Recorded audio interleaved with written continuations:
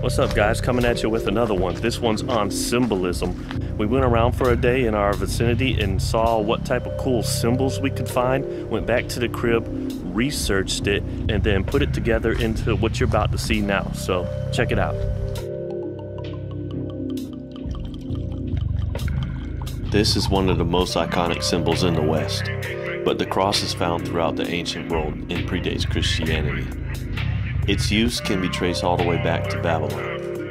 It's ironic how a pagan symbol became the trademark of Christianity, but not early followers. They used images like the anchor, trident, and ship to represent the new way.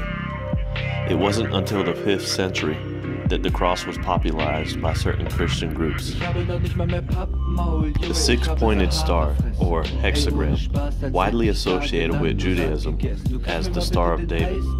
Like the cross, it's actually an ancient symbol, and it wasn't until 1897 when the First Zionist Congress adopted it that it became synonymous with Jewish culture. The six pointed star is also seen throughout the occult. Here's the Celtic cross. It originates in Ireland and Britain, first appearing in the 9th century. It's possibly combined with the pagan sun cross, which would have appealed to older traditions of that region. Here is the Dharma Chakra, a Buddhist symbol. It's the eight spoke wheel of transformation. Like other symbols, there's multiple meanings. The spokes can represent virtues of the Buddha, or the wheel itself representing spiritual advancement. We're pushing on and I'm noticing there's symbols everywhere. This Volvo emblem, you may recognize part of it as being the masculine symbol for Mars, but it's actually the ancient symbol for iron. This was intentional, it was a play on Sweden's exceptional iron industry. This symbol is used to represent strength, durability, and safety. At least that's what they wanted to convey. Corporate logos are funny. They could almost be ingrained in one's subconscious. This is a long used trademark of the Mobil Oil Company. It's a symbol from Greek mythology. This immortal creature was tamed by a goddess and assisted the ancient poets. It symbolizes imagination, speed, and power. We're sliding over to the art museum. This place just blows my mind. I know that we'll find some really cool symbols here, so let's explore. Those wishing to conceal a message sometimes use symbols as a language. The owl could be regarded as the master of secrets. This observant creature flies under the cloak of darkness and stockpiles information. From the US government to the arts, the owl can be seen everywhere, like the street layout as seen in Washington, D.C., to rituals of the super elite recorded by those who have snuck in to even the corner of your dollar bill. Look closely. I stumbled upon this cool website regarding the owl, richardcassaro.com. He covers the history of this symbol, uh, the groups that have used it, and even some famous figures associated with said groups. And but five minutes inside the museum, surprise, another owl. What is it with this owl and supposed super elite and the artists that depict it? We move on to the next room and find this curator explaining the tiger in this Chinese tapestry. This is a good example on how a symbol doesn't have to be an emblem. It can be something like an animal in general. To these Chinese, the tiger represented a type of expression of divinity I enjoy reading the placards. The explanations of the symbols and such is what brings the art alive to me. That's actually something I didn't do in this room. We're looking at these Art Nouveau posters from the turn of the century 1900s, and I'm wondering if these artists had a particular fancy for the bird, or if this collector cherry picked them. That's something symbolism seems to do. Strike in succession. I guess the repeat button could be a powerful tool. Speaking of tools, what's this 17th century parliamentarian have in his hand? Apparently, it's called the baton of authority. This is interesting. So now we see an example of a status symbol. Over here, we're noticing another pattern. It's medieval man babies. Yeah, apparently that was a thing. Most of the babies we see here are depictions of baby Jesus, and the view at that time was that Jesus was fully mature from the start. Here we have roses, a common attribute of the Virgin Mary, and the sphere in the hand of baby Jesus, representing the world in which he came to save. I call this painting Bad LSD Trip. If you know about ergotism, that is the disease caused by eating moldy bread, which results in hallucinations, you can see how the artist expressed the hermit's hellish experience. This painting reminds me that our dreams and trance experiences can be filled with symbolism. Figures like Carl Jung and Sigmund Freud made careers out of study and such. Here's St. Jerome in his study. I often see these skulls associated with wise men and mystics of the Renaissance. On an esoteric level, it is said that the skull represents the death of the ego. Here's a painting from the Dutch Golden Age. It's a portrait of Judith van Wolvergen, and apparently she comes from a banking family, and I'm wondering what's the significance of this object in her hand? After a little digging online, I find similar portraits revealing what is to be a fan, and that just leads me to more questions. What's the significance of these fans?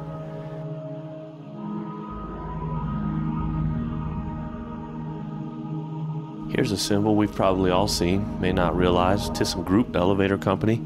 The arch with the multiple spheres represent the multiple entities they've acquired over the years. They put an emphasis on this thing of multi. And we're checking out of the museum. Local philanthropists made it free to the public on Fridays and Saturdays. Thank you. And we're headed right across the street to the historic cemetery, Woodlawn Cemetery, founded by Henry Flagler. 1904, another big name.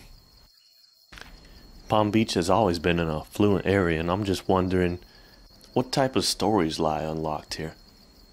This is, in fact, a historic site, and at one point it became a tourist attraction in what I call the pre Disney era. And we're just happy to be here today in these historic grounds studying these interesting symbols.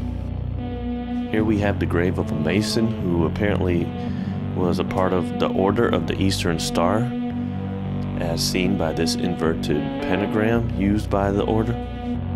I think I understand the square and compass, the compass representing the spiritual plane and the square representing the material. Symbolically, it's supposed to represent a special type of union between the two.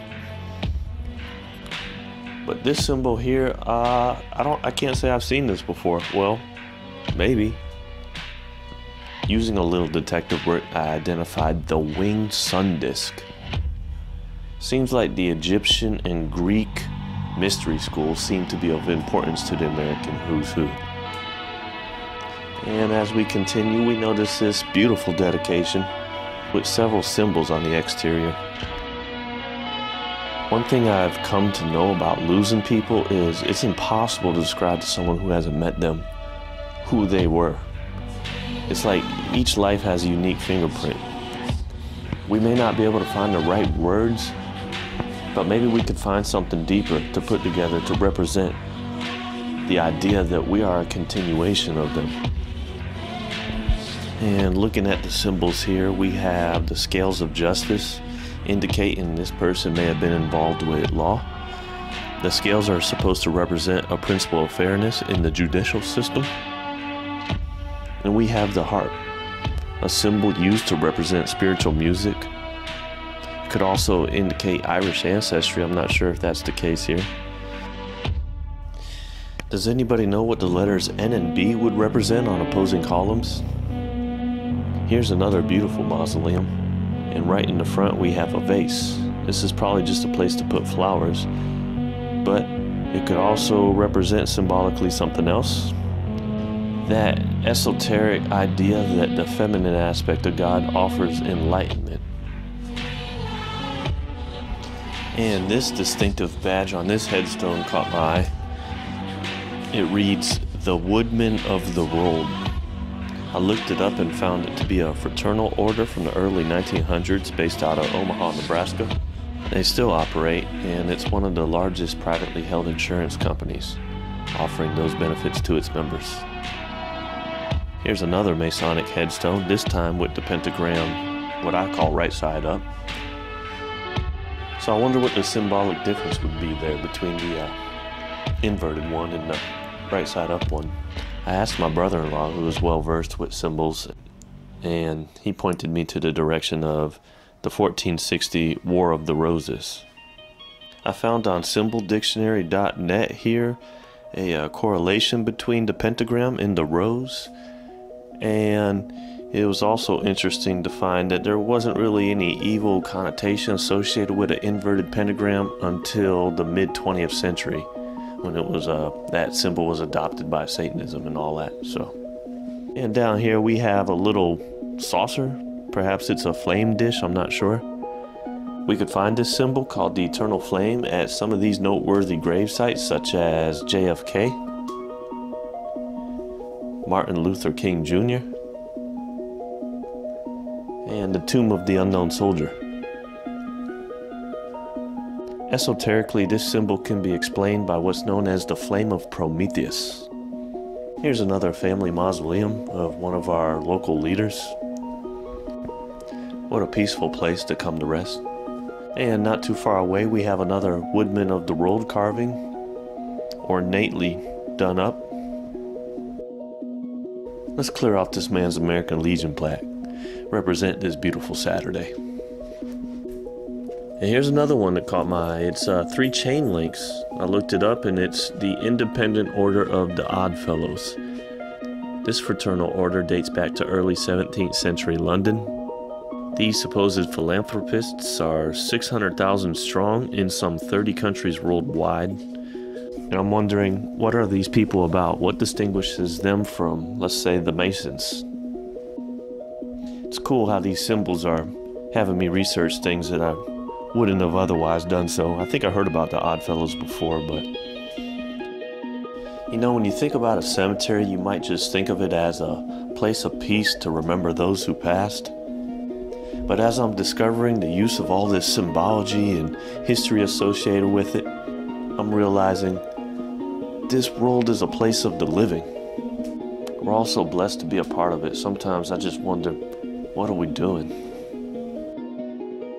And check out this mystery. Does anybody know what this is? It's a tin full of some sort of produce with pennies on top. I've been searching and couldn't find any leads. And we're just stopping for a little refreshments here before we conclude our last leg of the journey. We're going to take it to some historic neighborhoods where the symbolism is rich. Here's some pretty common symbolic decor pineapples. Here in the South, pineapples have become the symbol for hospitality, friendship, and they're known as the universal party fruit. Taken from southernliving.com, the use of it as decor goes back to a legend of New England captains, sea captains coming back from the Caribbean. When they would get into harbor, they would unload their ship and return to their house where they would spear a pineapple on a fence post. This would let their friends know that they had returned safe from their voyage, and the pineapple was an invitation for them to come and visit. This might be purely decorative, but I kind of like it. See the rose there on the right and a fleur de lis on the left. We got some sort of shield here, dead center. Might have to get up there in a ladder and really check it out next time. Then we got a straight out coat of arms here. And another coat of arms. I'm wondering who's the noblest in the neighborhood. Perhaps a joust to settle the question is in order. You can't forget about the lions. Reminds me about what I learned in that Rosicrucian video. And here's the Chi-Rho, one of the earliest Christian symbols. This is at the Greek Orthodox Church here, and this symbol was used by Emperor Constantine to conquer Rome. And just for good measure, here is the rod of Asclepius. Asclepius was the Greek god for medicine and healing, not to be confused with the caduceus. Somehow, apparently, we got that mixed up over time. there you go. Hope you like it. We're doing this one video at a time. I'm going to keep pumping them at you. I don't know what it'll be next. Might just put a damn Dion Fortune book and stop motion claymation. Expand on mine. Play the organ at Bethesda by the Sea. GoPro off the front of a boogie board down Tamarind. You may not know what any of that is, but keep rocking with me, and I promise you, we're gonna get them good. But until then, stay quarantined up. Everybody be safe. I got stuff to do. Over and out.